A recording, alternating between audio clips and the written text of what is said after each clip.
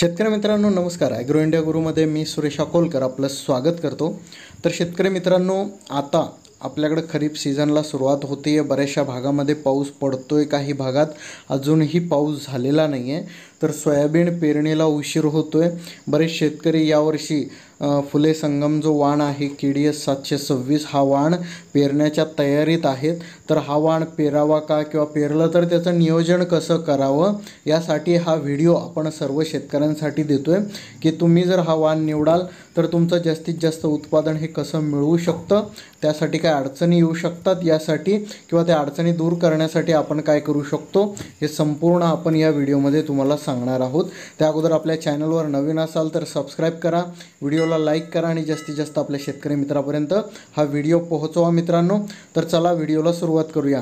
तर मित्रांनो के D S सातशे सव्वीस हे जर वाण तुम्ही पेरणार असाल तर आता बऱ्याचशा भागामध्ये अजूनही पाऊस पडलेला नाही आहे आणि जितकं लेट हे होत जाईल तितका पेरा पेरणीची डेट ही आपली पुढे जाईल. आता चौदा तारीख आहे उद्याची पंधरा राहील. तर आज जेवढी जेवढी तारीख जी आहे पुढे जाईल. तसतसं आणि सगळ्यात महत्त्वाचं फुले संगम के डी एस सव्वीस सातशे सव्वीस जे वाण आहे हे वाण म्हणजे एकशे पंधरा ते एकशे वीस दिवस म्हणजे पूर्ण चार महिने घेणारं वाण आहे. चार महिने याला लागत असल्यामुळे हे समजा तुम्ही आता पंधरा ते तीस तारखेदरम्यान जर पेरलं तर हे तुमचं शेवट शेवट येईल की त्यावेळेस पावसाचा तुटवडा भासू शकतो किंवा अति प्रमाणात अतिवृष्टी ही होऊ शकते. त्या कंडिशनला जर अतिवृष्टी झाली तरी तुमचं नुकसान मोठ्या प्रमाणात होऊ शकतं आणि पाणीचा जर तुटवडा भासला तरी तुमच्या शेंगा ह्या व्यवस्थित भरू शकत नाही. म्हणजे दोन्हीही याच्यामध्ये तुमचं नुकसान हे मोठ्या प्रमाणात होण्याची शक्यता ही जास्त असते. आणि मित्रांनो जर तुमच्याकडं पाण्याची व्यवस्था असेल जमीन भारी असेल काळी असेल तरच तुम्ही फुले संगम या वाणाची निवड करू शकता. हलक्या जमिनीमध्ये याची निवड नाही केली तरी चालेल. दुसरं वाण तुम्ही घेऊ शकता जे अर्लीमध्ये लवकर येऊ शकतं. तर मित्रांनो ही झाली पहिली गोष्ट.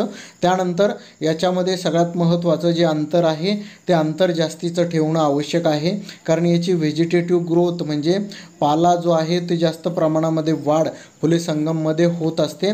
त्यामुळे याला पेरताना थोडं पातळ पेरावं लागतं. किंवा लागवड जर करणार असाल टोकन पद्धतीने तर वि विशिष्ट अंतरावर तुम्हाला याची लागवड करावी लागेल जेणेकरून जे व्हेजिटेटिव्ह ग्रोथ आहे ती वाढली जरी तरी हवा आणि सूर्यप्रकाश खेळतं राहील.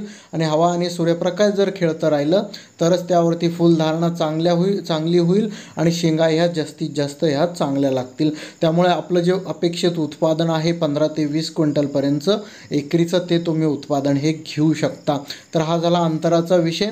त्यानंतर सगळ्यात महत्त्वाचं तुमचा पेरा हा पंधरा ते तीस तारखेदरम्यान होणं फार आवश्यक आहे. यापुढे जशी जशी डेट जाईल तसं तसं मित्रांनो तुमचा जो आहे कालावधी वाढू शकतो त्यामुळे शक्यतो हा वाण निवड निवडताना तुम्ही विचार करावा. तर त्यानंतरचा दुसरा जर विषय तुम्ही विचार कराल तर याचा खताचे डोसेस जे वापरणार आहात युरियाचं प्रमाण हे आपल्याला वापरायचं नाही आहे याला फुसफुरत आणि पालासचा वापर हा आपल्याला जास्तीत जास्त करायचा आहे आणि सल्फर वापरायचं आहे. जेणेकरून याची व्हेजिटेटिव्ह ग्रोथऐवजी आपल्याला फुलधारणा आणि फुटवे यावरती या लक्ष द्यायचं आहे. जेणेकरून तुमचं जास्तीत जास्त उत्पादन हे त्या ठिकाणी वाढू शकतं मित्रांनो. या छोट्या छोट्या गोष्टी आहेत ज्या लक्षात घेणं आवश्यक आहे. आणि तुमचं जे बियाणं आहे ते तुम्हाला बियाणं वीस ते पंचवीस किलो एकरी पुरेसं होऊ शकतं. फक्त फुले संगमची पेरणी करण्या अगोदर त्याचं जर्मिनेशन टेस्ट अवश्य करून घ्यावं म्हणजे उगवण क्षमता ही बियाण्याची करणं हे फार आवश्यक आहे की आपल्याला जर्मिनेशन जी टक्केवारी आहे ती किती प्रमाणात येते. कारण त्यामुळे आपलं नुकसान हे आपल्याला टाळता येईल मित्रांनो. कमीत कमी कारण पाऊस हा जसजसा लेट होतो आहे तसतसा आपण कमी जास्त प्रमाणाच्या पावसामध्ये आपण त्या ठिकाणी पेरा करू आणि आपल्याला जर उतारा हा कमी मिळाला तर आपलं नुकसानही होईल आणि दिवसही वाया जातील. त्यामुळे आपल्याला हे करणं आवश्यक आहे. आणि त्यानंतर बीज प्रक्रिया करणं सुद्धा. फार आवश्यक आहे.